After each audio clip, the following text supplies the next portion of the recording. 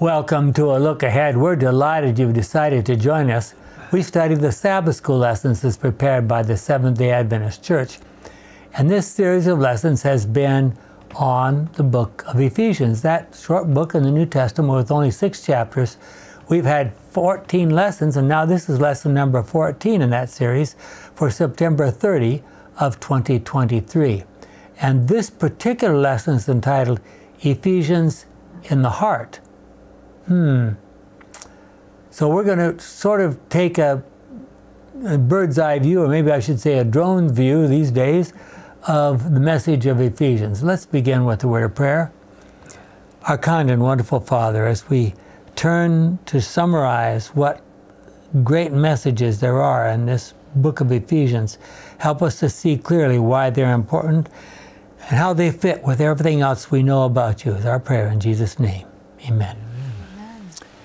As we finish this series on the book of Ephesians, tell, let us review what we have studied. Jim? From the Bible Study Guide, visitors to London climb on board the London Eye, a Ferris wheel like attraction.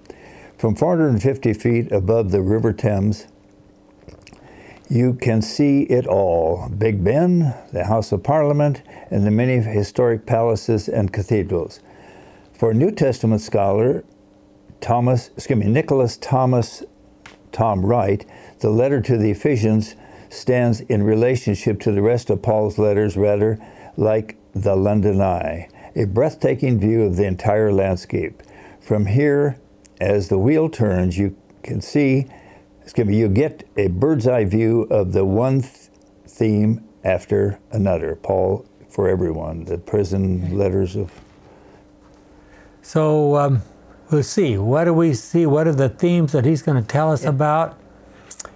In Ephesians, Paul is not focused on issues of local concern. The letter reads as though Paul were addressing believers everywhere in Christian churches wherever they exist, and in fact, that was the case. It was written to the church at Ephesus because they were the ones who copied, made copies, and sent them on to the other churches. But the letter was intended for the benefit of all the churches in that part of the world at that point in time. The letter's timeless feel allows the breathtaking view Paul offers to invade our own world and thought. As we review each chapter, let's keep this question in mind. What important truths embedded in Ephesians should continue to shape our lives as believers? From our Bible study guide for Sabbath afternoon.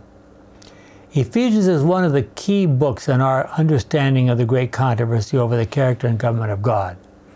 At the very beginning of this book, which was written from prison to the church members in Western Asia Minor or modern Turkey, Paul rises to new heights and insight. New heights of insight, I'm sorry. Jim? Or I'm sorry, that should be Carrie's. yes. Yes. Ephesians 1 8 through 10. In all his wisdom and insight, God did what he had purposed and made known to us the secret plan he had already decided to complete by means of Christ. This plan, which God will complete when the time is right, is to bring all creation together, everything in heaven and on earth, with Christ as head. Once again, the point is when we talk about the great controversy, how many people are involved? How many? How much is involved? The whole The entire universe. Yes. If your message is for one group of people or even all human beings, it's still too small. Colossians, a parallel book written at the same time and sent also to Ephesus, and then on to Colossians, to Colossae, um, written at the same time, gives us additional insight. Colossians 1, chapters 19 to 20. For it was by God's own decision that the Son has in himself the full nature of God. Through the Son, then, God decided to bring the whole universe back to himself. God made peace through his Son's blood. Footnote, his Son's blood or his Son's sacrificial death. On the cross, and so brought back to himself all things, both on earth and in heaven in the Good News Bible. Okay, so one of the challenges I want you to think about there as you listen to this how does the death of Christ bring the whole universe back to God. Is that possible? There's truth. Remember Jesus. uh, Okay. Ellen White puts it in these words Through the plan of salvation, a larger purpose is to be wrought out, even than the salvation of man and the redemption of the earth. Bigger than this world, in other words. Through the revelation of the character of God in Christ, the beneficence of the divine government would be manifested before the universe. The charge of Satan refuted, the nature and result of sin made plain, and the perpetuity of the law fully demonstrated. So, if you could see that those things, those key issues, just spread out for you as clear, plain and clear as possible on a page, wouldn't that, shouldn't that impact you in some way? Wow. I think so. And that was uh, written first of all in Signs of the Times, uh, one of our fa- famous news uh, journals, February 13, 1893, and then copied in a number of other places. Going on, um, but the plan. Oh, Jim, I'm going to let you read you the next one there. Uh, okay, but the plan of salvation, excuse me, plan of redemption had yet a broader, deeper purpose than the salvation of man. It was not for this alone that Christ came to the earth. It was not merely that the inhabitants of this little world might regard the law of God as it should be regarded, but it was to vindicate the character of God before the universe, to to this result of his great sacrifice, its influence upon the intelligences of the other worlds as well as upon man, the Savior looked forward when just before the, his crucifixion he said, Now is the judgment of this world. Now shall the prince of this world be cast out, and I, if I be lifted up from the earth, I will draw all unto me. John 12, 31 and I'm going to 32. interrupt there, as you know. We've got to talk about this. In the King James, it says, "We'll draw what?" all, and then italics the word men if it's it's a proper printing. Yeah. Okay. So I might I might mention uh, a bit. The word men is not in there. it's not in the Greek. Years not ago, when I was at uh, at the Princeton Theological uh, Seminary with and Dr. Bruce Metzger, the general editor of the uh, um, King or the RSV, he picked that verse as an example of how translators work. And uh, so when, when he got done doing his, his spiel, he, they, they, that they put words in. And I raised my hand at the back of the room and I says, "You think maybe he would have been better if he'd have left that word uh, men out?" Because then it would have been more in keeping with Paul said in Colossians 1:19 and 20 and Ephesians 1, 9 and 10. Went over like a lead, lead balloon because people didn't understand the great controversy. Yeah. You see? Yeah, you can talk stuff right out of the book. In fact, that's one of the problems with Bible translations. Uh, we, with the Bible translation, they, they, they read it into their theological spectacles. It's impossible not. I mean, every one of That's us speak out from what we what we know and what we what we what we can understand. We, that's what happens, and so we have to take advantage. We, That's, we need. that's a, a key uh, t- text. The, the Good News translation on that one, uh, uh, 1232, um, everyone, they use the word everyone, Yeah. which is a, l- you can make the case that that's not so bad. Well, but and Ellen White clearly understood Oh, she because had- she's she's talking about the whole universe all through here. right? Okay, go ahead. Uh, The act of Christ. Where, Bottom. where are we at? Oh, yeah. The act of Christ in, in dying for the salvation of man would not only make heaven accessible to men, but before all the universe, it would justify God and His Son in their dealing with the rebellion of Satan. It would establish the perpetuity of the law of God and would reveal the nature and result of sin. From Patriarchs and Prophets, page 68 and 69. Okay. So if you want to know the results of sin, just watch what Satan did to Christ. Okay. Carrie, Yes. Uh, Ellen White. okay. By coming to dwell with us, Jesus was to reveal God both to men and to angels. Not alone. Now, hold on just a second. I I want you to think of the implications of that statement. He came from where? He came from heaven. And who was he living with? Angel. All the angels. He comes down here to reveal God to men and to angels? Okay. What, what, what's wrong with this picture? Okay, go ahead and read. All right. Jesus was to reveal God both to men and to angels.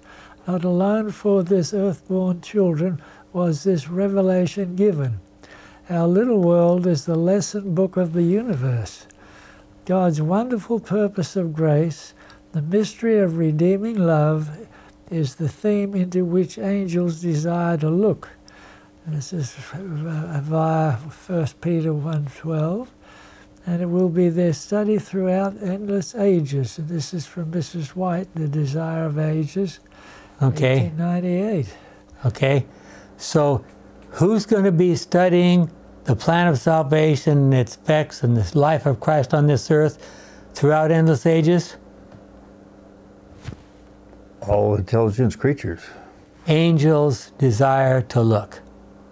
We all, really, yeah, all intelligent creatures. The whole universe is going to be thinking about what Christ did and the whole plan of salvation from beginning to end for the rest of eternity. Jennifer. From Ellen G. White. To the angels and the unfallen worlds, the cry. To the angels and the unfallen worlds, the cry, it is finished, had a deep significance. It was for them as well as for us that the great work of redemption had been accomplished. Not until the death of Christ was the character of Satan clearly revealed to the angels or to the unfallen worlds. The archapostate had so clothed himself with deception that even holy beings had not understood his principles. They had not clearly seen the nature of his rebellion from the desire of ages. And we're back to the word redemption. I think El, in the book Education, Ellen White says, "Reg- re- redemption is education. Mm-hmm. Yeah. And education is not making some pronouncement and everybody just falls in line. No, it has. You have to process the data. So think for a moment about Satan's predicament as when, when Jesus came to this earth, Satan, I'm sure, turned to all his cronies and said, Nobody has lived on this earth yet without sinning. We are going to get this baby to sin. Okay? When he failed that, life goes all the way through his life and he's into his ministry and he's approaching the end of his ministry and he doesn't got him to sin. He says, okay, we may not be able to get him to sin, but let's make things so difficult for him that he just gives up on people and he goes back to heaven. And then he'll leave this world to us. He failed with that one. So finally, when Jesus was already dead and he's in the tomb, the angels, every single one of Satan's angels was there to trying to keep that grave shut. Because they knew that if Jesus rose out of that grave and came out, it was curtains for them. That would mean the, not right at that moment, but the time was come was going to come when it's going to be all over for them. So Satan and his angels were in a, what, what, what we call the ultimate catch 22. If you try to st- stand back and pretend like you're a nice guy, Satan's going to, I mean, Christ is going to succeed anyway. If you do everything you possibly can to destroy Christ or to figure out to prevent him from doing his work, etc., then you maybe have a chance of doing something, but you're going to reveal your, your ambitions and your methods to the entire universe. And that's exactly what happened. They saw what Jesus, what Satan, you know, they thought, this person who used to be the head of the angels, look what he's doing.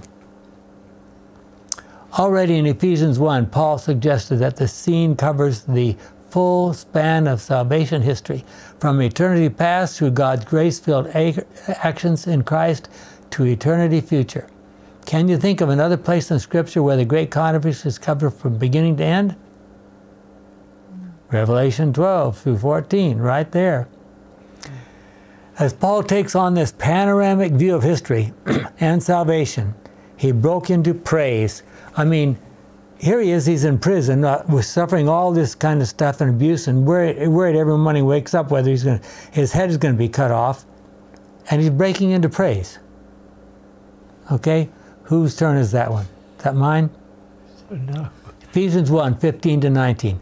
For this reason, because I understand the, this whole issue of the great controversy and who all is involved, ever since I heard of your faith in the Lord Jesus and your love for all God's people, I have not stopped giving thanks to God for you. I remember you in my prayers and ask the God of our Lord Jesus Christ, the glorious Father, to give you the Spirit who will make you wise and reveal God to you so that you will know him.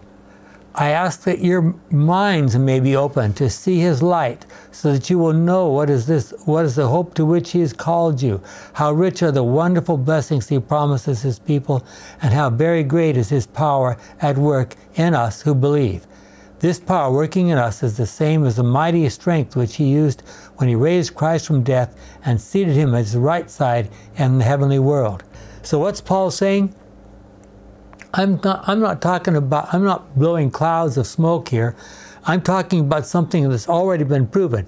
Here's one who came to this earth, he died, he was raised, he's back in heaven, he's sitting at the right hand side of God. This is, this is real stuff. So, how has the life and death of Jesus affected your life? How could the life and death of someone who lived 2,000 years ago affect our lives in the 21st century? Can other people see that we are Christians? Has your understanding of the great controversy affected your lives? If so, why? How did you feel about being chosen by God from before this world was created? That's what Ephesians says. What was God's original plan for the human race? We all should be living in an expanded version of the Garden of Eden. That's where we're supposed to be. What percentage of the 7 billion people living on this earth have any idea about the great controversy and its implications? 0.0000%, right? How should it affect us to realize that we can be adapt, adopted into the universe wide family of God to live forever around the throne of God? Okay, let's look at some of those verses. Ephesians 1:10. Jim? This plan, which God will complete when the time is right, is to bring a creation together, Bring all creation. all creation together, everything in heaven and on earth, with Christ as his head. Ephesians 2, verses 1 to 4. In the past, you were spiritually dead because of your disobedience and sins. At this time, you, excuse me, at this time, you followed the world. At that time. The, I'm sorry, man, my eyes here. At that time, you followed the world's evil way. You obeyed the ruler of the spiritual powers in space, the spirit who now controls the people who disobey God. Actually, all of us were like them and lived according to all our natural desires, doing whatever suited the wishes of our own bodies and minds. In our natural condition, we, like everyone else, were destined to suffer God's anger. But God's mercy is so abundant and his love for us so great. And then Ephesians. Yeah, good news, good news Bible there. I want you to think about what Paul is saying there. He's saying, you people, uh, we've talked about all the crazy stuff that was going on in the, in the, in the temple of Artemis there in Ephesians and how evil that all was. And Paul is saying, I grew up as a Pharisee, but I, my situation was just as bad as yours. Now, mm. Think destined to suffer God's anger. I think we need to explain that yep. word anger because God, God's anger is His uh, from the Greek word. Um, oh, paradidomi. Uh, no. Uh, Which one? Uh, orge. Yeah. And which is, but he's, he gives you freedom. Yeah. That's what, what ultimately he doesn't interfere in your desi- desire to grow uh, down the wrong path. Yeah. That's his, uh, this, unfortunately, this, uh, described as God's anger, and that isn't really the, a good description. People don't understand it, yeah. Well, let's explain it to them from time to time. Yeah. Carrie? Yeah. Uh, Ephesians 2, there, 8 and 9. For it is by God's grace that you have been saved through faith. It is not the result of your own efforts, but God's gift, so that no one can boast about it. That's from the Good News Bible. And there's a very simple way to explain that. we, we sometimes say, well, what is God doing some kind of magic? No, just think about if if God didn't care about us, He would have just left us. We would perish. So you know that would be it. There would, there's absolutely nothing. If God chose not to do something for us, there's absolutely nothing we could do about it. But that is not God's character. Well, no, I'm not. I'm not arguing with that. but we've got to make sure that at the end uh, we explain it. Yeah. God does everything in, to educate us. Everything possible to save us and to, to heal us and to educate us. Okay. Jennifer, do you want to try Ephesians 2 11 and 12 there? Ephesians 2, verses 11 through 12. You Gentiles by birth, called, quote, the uncircumcised by the Jews, who call themselves, quote, the circumcised, which refers to what men do to their bodies, remember what you were in the past. At that time, you were apart from Christ. You were foreigners and did not belong to God's chosen people. You had no part in the covenants, which were based on God's promises to his people, and you lived in this world without hope and without God. From the Good News Bible. Wow. And John understood that. John 1:13, they did not become God's children by natural means, that is by being born as the children of a human father.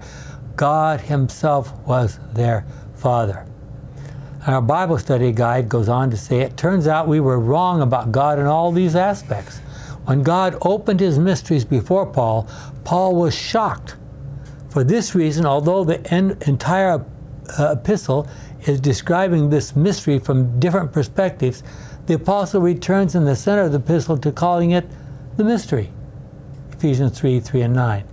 And the mystery of Christ, Ephesians 3 4. And at the end of his letter, the mystery of the gospel, Ephesians 6 19, from the New American Standard Bible. This mystery is all the more valuable. And I should stop for a second and tell you the word mysterion in, in Greek means not something that nobody can figure out. It means something that you understand, mean that you understand once once it's been un- explained to you. Mm-hmm. That's what it means. It's like a secret. If I tell you the secret, you know it. So this mystery is not an impossible thing to know. It's something you can know if you know, if you've been instructed. Like Jim keeps talking about the education. persuaded, but the process ultimately ends in persuasion rather than just convince. Because once you can become persuaded of something, come hell or high water, you're you're you're still committed to the Hopefully. force of, of truth. Well, if you become persuaded, Yeah. now just have faith. You know, faith is believing something you, do, you know ain't so or doesn't For make some sense. people. Uh, Tertullian and so forth. So this mystery is all the more valuable, Paul explains, when we realize that it was hidden from the people in the past centuries and millennia. And God chose Paul's generation to live in that unique historical time when that mystery of mysteries was fully revealed for all to see. So it's still a mystery, even though it's been revealed, because what? To those who, do, who have, don't understand it, it's a complete mystery. Yeah. It's almost like you're talking a different, uh, different language. It's a di- different culture. In Ephesians 2, Paul recognized that we were once sinners, controlled by our natural desires, doing whatever we felt like doing. In that condition, God could not save us to live in a perfect universe. We just, I mean, it, it would be, you know, we'd stick out like a sore thumb. Paul went on to on saying that God has brought together people from all parts of the world. He has brought down, I'm sorry, he has broken down the wall that separated us and kept us enemies. We have the opportunity to become fellow citizens with God's universe-wide family.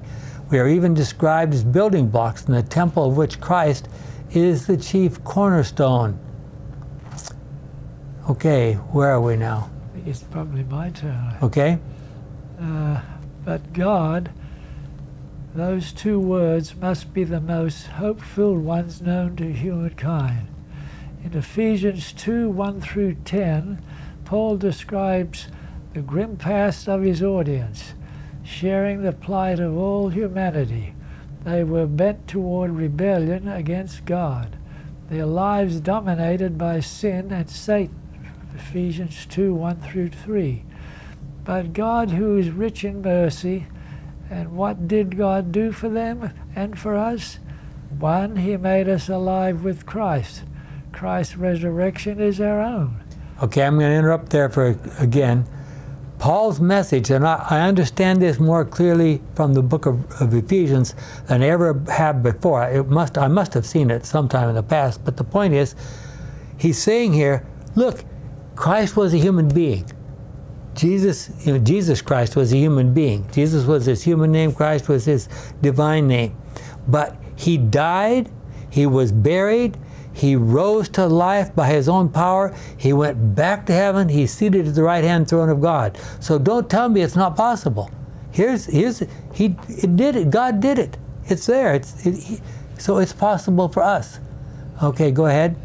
He made us alive with Christ. Christ's resurrection is our own. Yep. Two, He raised us up with Christ. Christ's ascension is our own. Three, in heaven He seated us with Christ. Christ's coronation is our own. Ephesians 2 4 through 7. We are not just bystanders to the cosmos shifting events of Christ's life. God takes these remarkable actions not because of any merit in us, but because of His grace. Ephesians 2 8 and 9. And He intends believers to live in solidarity with Jesus and practice good works, Ephesians 2.10. From our Bible study guide for Monday, September 25. So now let's be, let's be uh, clear. Could we actually be a part of God's remarkable actions, the world transforming events, beginning with the life of Christ and leading to eternal salvation? Could we be? Yeah. Jennifer? Ephesians chapter 2, verses 8 to 9. For it is by God's grace that you have been saved through faith. It is not the result of your own efforts, but God's gift, so that no one can boast about it. God has made us what we are, and in our union with Christ Jesus, He has created us for a life of good deeds, which He has already prepared for us to do. The Good News Bible. So Paul is saying, Jesus did it, it's possible for us to do it. Ephesians 2 8 through 10 has played a role in the conversion of many. Martin Luther found in these verses a grace that won his heart, and he discovered as well some central affirm affirmations of the Reformation. Salvation comes by faith alone, through grace alone, by Christ alone, and to the glory of God alone. In 1738, 18 days after experiencing conversion in London's Aldergate, Aldersgate Street, John Wesley preached at Oxford University, offering, quote, a cry from the heart, and, quote, the manifesto of a new movement. His text, mm. Ephesians 2.8. Mm. And you can read about it in this book by, uh, about stra strangely warned, warmed, I'm sorry, the Wesleyans and the Evangelical Awakening. How did your conversion, how did your conversion affect you and me? How much did your life change? In Ephesians 3, Paul focused on the secret mystery that has now been revealed about God's blessings and how we can become members of the same body which Jesus Christ established. So, and what do we know about that body? Jim? Ephesians chapter 3, verses 7 to 10. I was made a servant of the gospel by God's special gift, which He gave me through the working of His power. I am less in the least, I mean, less than the least of all God's people, yet God gave me the privilege of taking the to the Gentiles the good news about the infinite riches of Christ. I'm going to interrupt you again for a second. Here's a Pharisee who, the first part of his, I don't know, a third of his life or half of his life, did absolutely not want to have anything to do with Gentiles at all. I mean, isn't that true? That's yeah. Pharisee of the Pharisee. That, yeah. oh, look what he's look what he's excited about now, spreading the gospel to Gentiles. Okay, go ahead. And the making of all people see how God's secret plan is to be put into effect. God, who is the creator of all things, kept his secret hidden through all past ages, in order that at the present time, by means of the church, the angelic rulers and powers in the heavenly world might learn, learn of his wisdom in all its different forms. From the Good News Bible. And whenever I read that sentence, I think, okay, the angels are standing around the throne of God. What could they possibly learn about God from us way over here in this little marble off in space somewhere? That's why the this story we uh, Genesis one is is the, is there because the Elohim were around we, ones we call angels now mm-hmm. were around and they had to have some more teaching. Yeah. And the ultimate demonstration was, was Colossians 1 19 and 20 and Ephesians 1 9 and 10. It wasn't when the fullness of time yeah. with it that Jesus' death brought peace to the beings in the heavenly places. It answered their questions that they had. In Ephesians 3, Paul tried to summarize God's mysterious plan as outlined in the Bible study guide and these points. Carrie, I think it's your turn. Yeah in eternity, God conceives of the mystery or the plan about the church. So God had this idea before any of us were created, okay? Yes, that's Ephesians 3 3 through 5 and 9 11. Through the life and death of Jesus, that long hidden plan is accomplished. Ephesians 3 11, New King James Version. And, uh, God, God's, yeah. Suggest compare. Uh, Ephesians 2 11 to 22. So God said it is possible for a human being to live on this earth all the way through his life without sinning. Satan said, No, he can't. Oh, yeah, watch me. Well, he was also hang, trying to hang on. Remember the in Revelation 12 4, mm-hmm. the tail of the dragon swept down a third of the stars, the heavenly intelligences, yep. to, to this earth and he wants to hang on to the other two thirds because they'd heard the lies and de- deceptions and extortions mm-hmm. and distortions, and uh, this is a whole ed- education. Okay. Everything's education. Next one, Carrie. Uh, through the life and death of Jesus, that long hidden plan is accomplished. Uh, Ephesians 3:11. Okay. Ephesians 2:11 through 22. By revelation, Paul learns the mystery of the church and the astonishing fact that Gentiles are to be full partners in it. Ephesians 3 3 through 6. Paul participates in spreading this good news as preacher to the Gentiles of the unsearchable rather riches of Christ. Ephesians 3 8 with many one to Christ, the church, composed as it is of both Jews and Gentiles, displays the manifold wisdom God to the principalities and powers in the heavenly places. Ephesians 3:10, announcing their coming doom. Compare uh, Ephesians 6:10 through 20. The plan to unite all things in Christ, Ephesians 1:10, is underway and their time is short. It's from the Adult Sabbath School Study Guide for Tuesday, September 26. To us, it might seem like it's been forever since the days of Adam and Eve, but to God, it's the blink of an eye. And He says, just give me enough time. I'm, I'm, I'm working things out. You will see. Okay, Jennifer? From Ellen G. White. The prince of this world cometh, said Jesus, and hath nothing in me. John 14 30.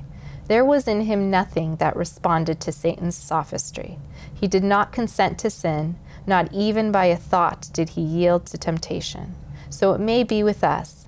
Christ's humanity was united with divinity. He was fitted for the conflict by the indwelling of the Holy Spirit. And he came to make us partakers of the divine nature. Okay, I want you to think about that. What does it mean to be partakers of the divine nature? Hmm. Wow. Well, you're not going to be self-centered if you're. If you're and that, and with, if, if nobody's self-centered, then you don't you're need courts. You don't you don't have need courts. You don't need law codes. You don't need uh, committees. You don't need uh, uh books and records to keep track of people because nobody's self-centered. Yeah, you're not.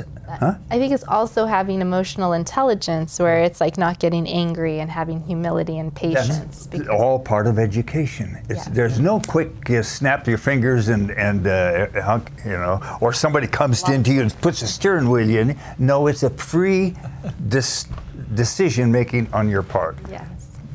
Yeah. Okay. So long as we are united to Him by faith, sin has no more dominion over us.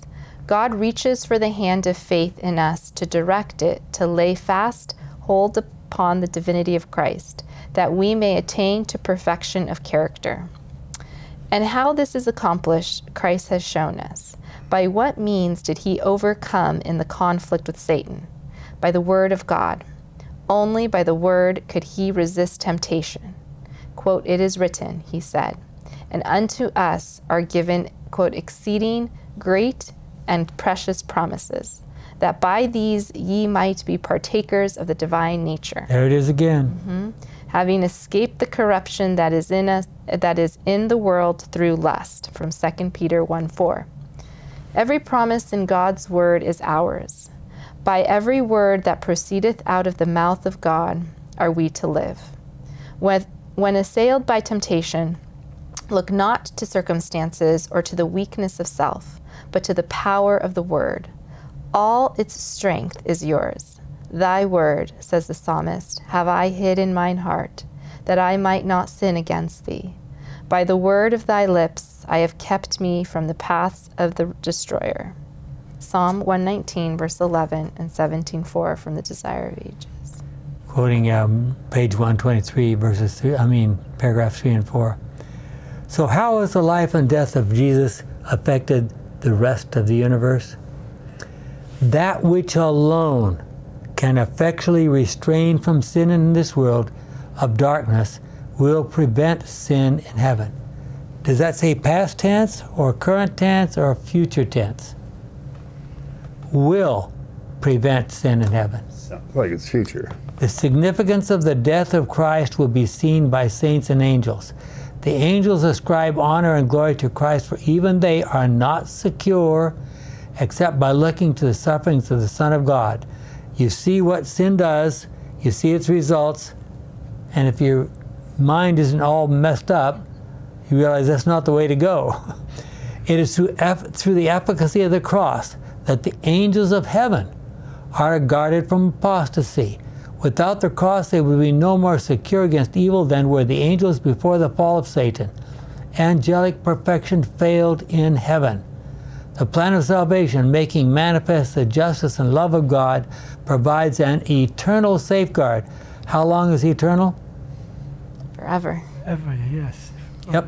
An eternal safeguard against defection in unfallen worlds, as well as among those who are who shall be redeemed by the blood of the Lamb from Signs of the Times, December 30, 1889, from the Bible Commentary, Volume 5, 1132. I like to describe it like this How does this become an eternal safeguard? God has a panoramic view, a panorama. We're going to see it at the third coming, and maybe before that up in heaven. But I mean, it's going to make Steven Spielberg turn green. It's going to be, you know, 3D living color. This is the great controversy spread out before you. And if in the future someone who was created later, maybe God goes on creating people, probably, or some, um, not necessarily like us, maybe some other kind. But if one of them decides to rebel, God will say, Sit down there. I want you to see what happened the last time somebody tried this. And if that person still decides they want to rebel, he will call all of us who've been through the, this experience of earth, gather around. Okay, what do you think should happen to this person that wants to rebel? Do we want to do the great controversy all over again? No. So all God has to do is just step back, and nobody will question his behavior at all, like they would have at the beginning when they didn't understand. Having seen the great controversy, no, we're never going to do that again. The plan of salvation, making manifest the justice love of God, provides an eternal safeguard. That's what we're talking about. Why did the angels need the message of the cross? Jim?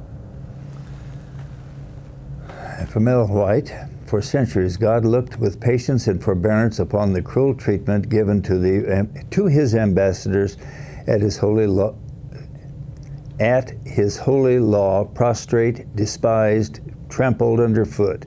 He swept away the inhabitants of the Noachian world with a flood, but when the earth was again peopled, men drew away from God and renewed their hostility to him, manifesting bold defiance. Those whom God rescued from Egyptian bondage, bondage followed in the footsteps of those who had preceded them, caused them. Cause what? Because excuse me, cause was followed by effect, and earth was being corrupted. A crisis had arrived in the government of God. All. Hold on, wait a minute. The government of God? Where's that? That's in heaven. Yeah. A crisis had arrived in heaven? Uh, that's what, well, Revelation 12 7. Keep reading. All heaven was prepared at the word of God to move to help, excuse me, move the help of his elect. One word from him, and the bolts of heaven would have fallen upon the earth, filling it with fire and flame. God had but to speak, and there would have been thunderings and lightnings and earthquakes and destruction. The heavenly intelligences were prepared for a fearful manifestation of almighty power. Every move was watched with intense anxiety. The exercise of justice was expected. The angels looked at to God, looked for God to punish the inhabitants of the earth. Okay, I'm going to uh, halt for just a second. They said, God, you cleaned up the world once by a flood. What are you going to do now? You have to look at what's going on down there. You've got to do it. Okay? The heavenly universe was amazed at God's patience and love to save fallen humanity. The God, excuse me, the Son of God took humanity upon himself. From the Ellen White from Patriarchs, excuse me, from Review and Herald, July 17, 8, 1900. That's over 100 years ago. Mm-hmm. And also in Desire of Ages, page 37. Compare it. For centuries, God bore with the inhabitants of the old world, but at last guilt reached its limit. He came to the place of punishment. Uh, came out. Me, he came out of his place to punish the inhabitants of the earth and by flood cleanse the earth of its iniquity. Notwithstanding this terrible lesson, men had no sooner begun to multiply once more than rebellion and vice became widespread. Satan seemed to have taken control of the world. The time came that a change must be made, or the image of God would be wholly obliterated from the hearts of the beings he had created. All heaven watched the movements of God with intense interest. Would he once more manifest his wrath? Would he destroy the world by fire? The angels thought that the time had come to strike the blow of justice, when, lo, in their wondering vision, in well, oh, to their wondering vision was unveiled the plan of salvation. Ellen White manuscript, page two, uh, manuscripts 22, January 10, 1890, from the Ellen White Diary of the 1888 materials. And why isn't this information spread all over the place? Why you can't even get it in, in the Adventist church. Yeah. well, that's what I'm talking about. This is, I mean, the angels in heaven, they thought that these rebels, God, why do you tolerate this bunch of rebels? Just get rid of them and start over again. Okay? It is, is it possible that Paul's prayer, as well as the prayer of Jesus Christ recorded in John 17, could apply to us as individuals and as a church in our day? What barriers still separate Christians from each other? How can those barriers be broken down? In Ephesians 4, Paul talked about what needed or needs to happen to transform the church. By the way, those paragraphs that we read there from Ellen White, they weren't in the Bible study guide. Those were added. I'm, I'm not not a shock to figure that see that one. yeah, no, that that needed to be in there, but it's not. In Ephesians 4, Paul talked about what needed or needs to happen to transform the church. Okay, Carrie? Uh, Ephesians 4 1 through 6. I urge you then, I who am a prisoner because I serve the Lord, live a life that measures up to the standard God set when He called you. Be always humble, gentle, and patient Show your love by being tolerant with one another. Do your best to preserve the unity which the Spirit gives by means of the peace that binds you together. There is one body and one spirit, just as there is one hope to which God has called you. There is one Lord, one faith, one baptism. There is one God and Father of all, who is Lord of all, works through all, and is in all. From the Good News Bible. Wow. One, one, one, one. Yeah. There's not half a dozen ways to get to God. There's one. yeah. After God has gone to incredible lengths to make this plan of salvation work, this is what can happen. Jennifer? From Ephesians chapter 4, verses 13 through 16. And so we shall all come together, all come together to that oneness in our faith and in our knowledge of the Son of God. We shall become mature people, reaching to the very height of Christ's full stature. Then we shall no longer be children, carried by the waves and blown about by every shifting wind of the teaching of deceitful people, who lead others into error by the tricks they invent. Instead, by speaking the truth in a spirit of love, we must grow up in every way to Christ, who is the head. Under his control, all the different parts of the body fit together, and the whole body is held together by every joint with which it is provided. So, when each separate part works as it should, the whole body grows and builds itself up through love. From the Good News Yep. Bible. Paul was aware of the evils that pervaded Ephesus and the surrounding cities and communities. It was time for the Christian churches to stand out as beacons of light. God's plan to make us all one is wonderful and certain to eventually take place. Is there any chance that this plan won't work? We know it's going to work. Yeah. It, it absolutely, there's no question about it. However, it will involve much work because, between now and then. Every member of the church is supposed to be gifted and use that gift to prepare others for life eternal. Are we doing that? As Paul prepared to conclude this marvelous book, he stated in Ephesians 5, the first five verses, since you are God's dear children, you must try to be like him. Your life must be controlled by love, just as Christ beloved us and gave his life for us as a sweet smelling offering and sacrifice that pleases God. Since you are God's people, it is not right that any matters of sexual immorality or indecency or greed should ever be mentioned among you. And he was thinking, I'm sure, about what was going on in the temple at Artemis there. Nor is it fitting for you to use language which is obscene, profane, or vulgar. Rather, you should give thanks to God. You may be sure that no one who is immoral, indecent, or greedy, for greed is a form of idolatry, will ever receive a share in the kingdom of Christ and of God. From the Good News Bible again. Jim? On the Bible Study Guide, if you start reading Ephesians 5 at the be- excuse me, at its beginning, you may miss the full power of an important theme. So, start instead with Ephesians 4:32, in Which which is, of course, the last verse of Ephesians 4. right, in which Paul tells the Ephesians to quotes be kind one to another, tender-hearted, forgiving one another, even as God in Christ forgave you. From the New King James Version, from the Bible Study Guide for September 28.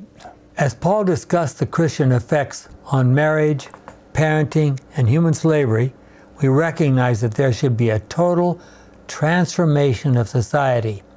And today, we, we hear different groups with their different sides say, well, if things could just go this way, well, that would solve all our problems. And somebody else who says, oh, if things will go just the opposite, it would solve all our problems. No, the only solution to the problem is a total transformation of society. And that's what happens when you go to heaven. Mm-hmm. It's on, only the people who are committed to living a life of peace and love. That, that's, that's the way it works. That's the way it happens. It's not going to happen any other way. Bible Study Guide. I think, Gary, I think it's you. Yes. Paul extends his theme of imitating God's love as he advises Christian husbands and wives. Christ's self sacrificing love for the church becomes a model for Christian husbands, as in Ephesians 5 25 through 33. while the lo- loyalty rather of the church toward Christ becomes the model for Christian wives, Ephesians 5:22 through 24, uh, becomes the model for Christian wives. Rather than using the gift of human sexuality in a debauched and selfish way, a Christian husband and his wife focus on valuing and treasuring each other, becoming one flesh, as in Ephesians Yeah. 5 28 through 33. If you read that whole section, Paul is just saying, okay, if you act like Christians, what a transformation it would be. Yeah. You know, as parents to children, as husbands and wives, as in those days, masters and slaves. Okay, go ahead. Be, in, be imitators of God as dear children. Ephesians 5 1, New King James Version.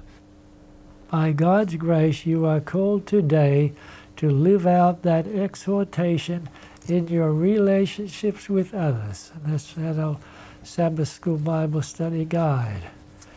Okay, so how would a truly Christian marriage look if husbands and wives did as Paul suggested?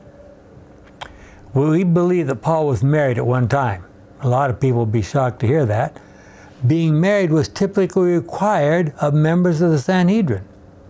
And scholars believe that Paul was at one time a married member of the Sanhedrin since he voted against Stephen in, in Act. Well, let's just look at that real quick. Acts 8:1 and Paul and Paul approved of his murder. Some versions say he voted for him for his murder.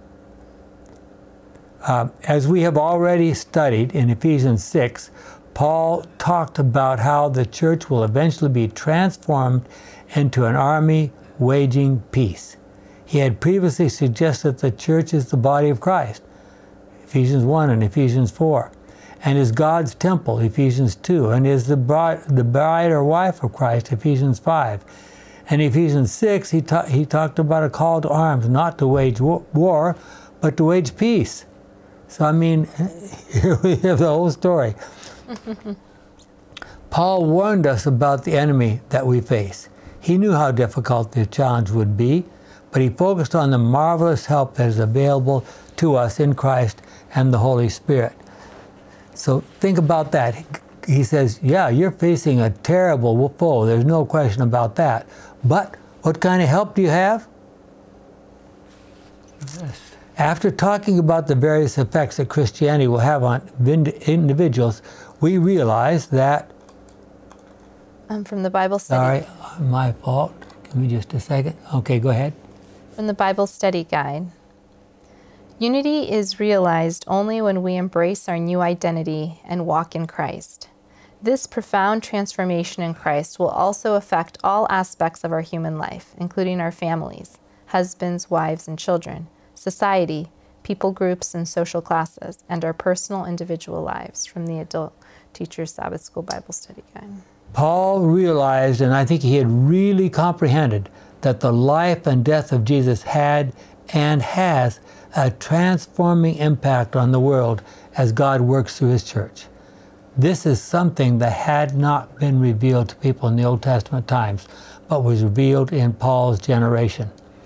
Paul's transformational experience on the road to Damascus changed him from a bigoted Pharisee, and he was, to a world traveling evangelist for Jesus Christ, and his special privilege was what? Taking the gospel to Gentiles. Yeah. He placed his life on the line every day to speak of his love and what Jesus has done for all of us. The end is coming. Paul and Ellen White both pointed us forward to a marvelous future with, with God. I guess that's mine, isn't it? All the treasures of the universe will be open to the study of God's redeemed. Unfettered by mortality, and we're talking about the future, of course, they wing their tireless flight to worlds afar, worlds that thrilled with sorrow at the spectacle of human woe and rang with songs of gladness at the tidings of a ransomed soul. The whole world ring with joy at the ransomed soul. Remember, Jesus said, More joy in heaven over one sinner that repents than over 99 just persons that don't need to, at least don't think they need to be repentance. With unfettered, with unfettered delight, the children of earth enter into the joy and the wisdom of unfallen beings. They share the treasures of knowledge and understanding gained through ages upon ages in contemplation of God's handiwork. With undimmed vision, they gaze upon the glory of creation, suns and stars and systems, all in their appointed order, circling the throne of deity. Upon all things, from the least to the greatest, the Creator's name is written, and in all are the riches of His power displayed. And I, I'm just trying to imagine from a human perspective, but think of the the, the, the, the new Webb telescope and all that it can see. God will make it so that we can do have that kind of vision without any telescope. And think of the, the electron microscopes and all they can see, the little tiny, tiny things. God is going to make it so we can see those things without any microscope. Mm. Just think about it. Mm. With undimmed vision, they gaze upon the glory of creation, suns and stars and systems. Uh, I already read that.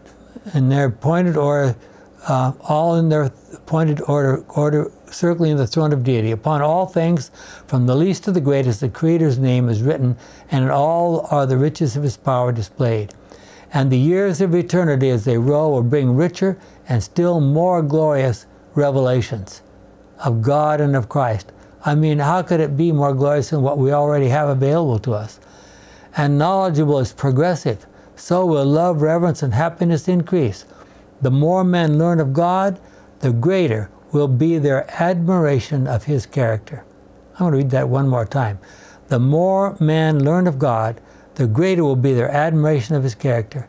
As Jesus opens before them the riches of redemption and the amazing achievements in the great controversy with Satan, the hearts of the ransomed thrill with more fervent devotion, and with more rapturous joy they sweep the harps of gold, and 10,000 times 10,000 and thousands of thousands of voices unite to swell the mighty chorus of praise. I mean, look at all that we know, or we have the privilege of knowing, and yet how much more there is to know. And every creature which is in heaven and on the earth and under the earth and such as are in the sea are all of, the, all of them heard I saying blessing and honor and glory. And it's time for us to conclude. The great controversy will be ended. Let's pray. Our kind and loving Father, as we read these marvelous words from that humble lady that you used in recent, in recent times, and all the words that Paul spoke so grandly even from prison. It's hard for us to even wrap our minds around it. Help us to grasp more fully than we ever have before these marvelous truths is our prayer in Jesus' name. Amen. Amen.